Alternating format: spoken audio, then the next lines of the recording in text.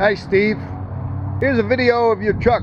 So 2011 International, right, with the 2,500 gallon aluminum tank on it. And this is the NVE 607 pump, 386 CFM.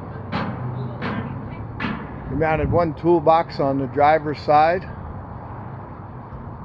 And um, we're coming around the back side, you can see the hitch plate that we built. So it's got the pintle hitch, air to the rear, glad hands, trailer connector, D-ring so that you can hook up your safety chains to this.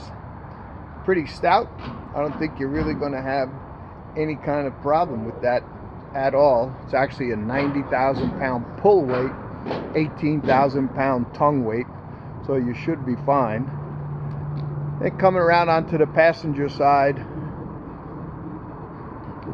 uh, frames wide open so you could do things, mount a jetter, another toolbox, uh, shovel rack, you know, those kind of things. Generally what people put on there so they can find lids and have those tools with them.